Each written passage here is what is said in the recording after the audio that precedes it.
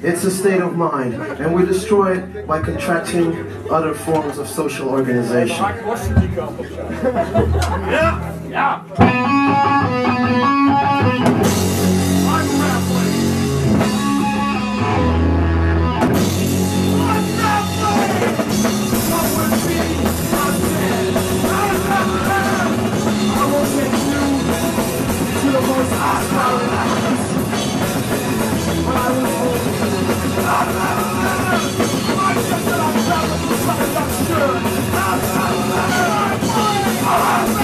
Reverend!